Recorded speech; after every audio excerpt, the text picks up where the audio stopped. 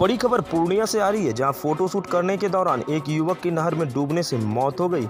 मृतक युवक की पहचान सदर थाना क्षेत्र के लोहापट्टी गुलाबबाग निवासी स्वर्गीय नारायण नायक के 19 वर्षीय पुत्र यश कुमार उर्फ़ सुमन के रूप में की गई है। घटना के संबंध में बताया जा रहा है कि यश अपने दोस्त शुभम और कालू स्वर्णकार के साथ दमका चौक गुलाबबाग स्थित नहर के पास आज दोपहर करीब दो बजे फोटोशूट कर रहा था।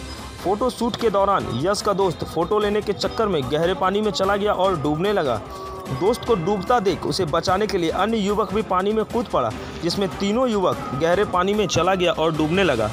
तीनों युवक को डूबता देख स्थानीय लोगों ने आनंद फानी में फानन में पानी में कूद कर तीनों युवक को बाहर निकाला, लेकिन तब तक यश की साँसें थम चुकी थी और अस्पताल ले जाने के बाद डॉक्टर ने उसे मृत घोषित कर दिया, जबकि अन्य दो युवक का स्थानीय अस्पताल में इलाज चल रहा है। वहीं इस घटना के बाद मृतक के परिजनों में कोराम मचा हुआ है।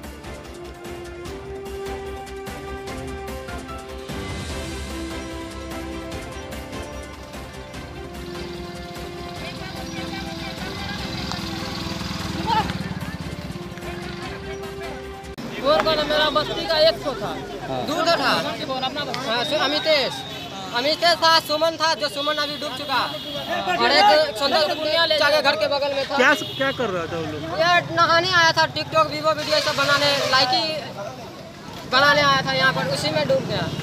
तीनों निकल गया? हाँ, एक और सब निकल